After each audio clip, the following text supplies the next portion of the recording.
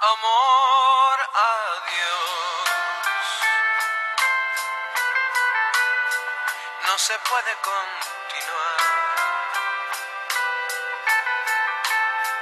Ya la magia terminó.